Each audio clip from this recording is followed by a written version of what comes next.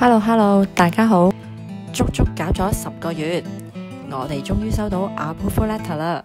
好，今日準備出發，做埋最後嘅手續。今次我哋揀咗坐 Air Asia，呢位真係有啲窄啊，不過冇計啦，平啊嘛。delay 少少，但係有驚無險，我哋到達 KL 啦。Yes！Air Asia 係用 KLIA Two 機場嘅，同 CX 係唔同噶，大家要留意喎。個機場就好似 Air Asia 一樣舊舊地，但係呢，一過完關出嚟就全部都係鋪頭。到步第一件事，梗係買張電話卡啦。其實呢度有好多選擇嘅，但係好似間間都差唔多咁，所以我哋都求其買張啦。順帶一提，機場裡面專為遊客而設嘅 SIM 卡，市區原來冇得賣嘅。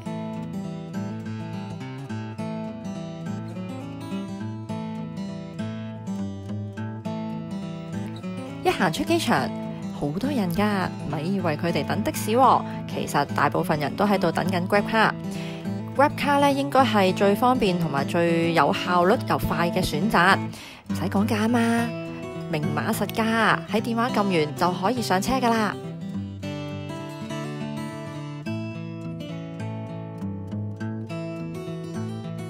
今次我哋揀咗住 Airbnb，话咁快我哋就到咗啦。嗱，唔好話我影錯啊，佢確實確實係我哋住嘅 Airbnb 門口啊。不過隔籬其實有間酒店嘅入口，冇錯，同一座标定十八樓以上就係酒店，而住宅就係十八樓以下。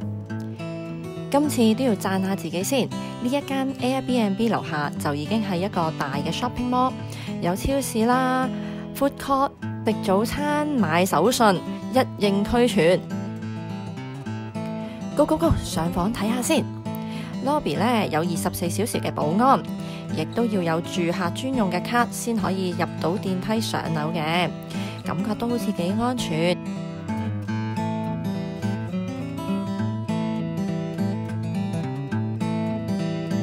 上到走廊唔錯，又闊又光猛，而且咧仲有冷氣。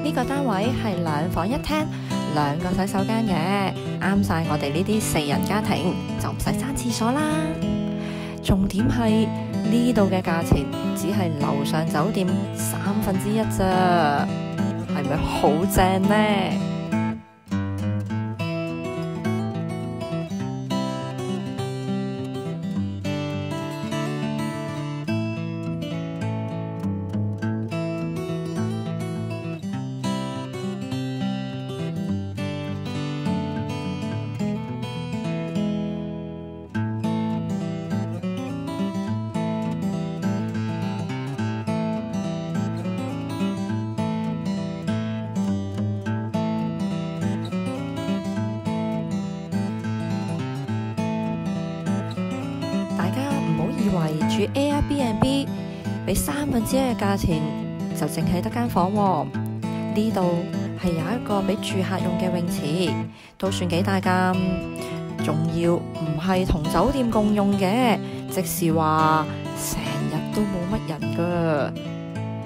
唔好以為淨係得個泳池，旁邊仲有個俾小朋友放電嘅地方，雖然唔算大，但係我啲仔就玩到停唔到啦！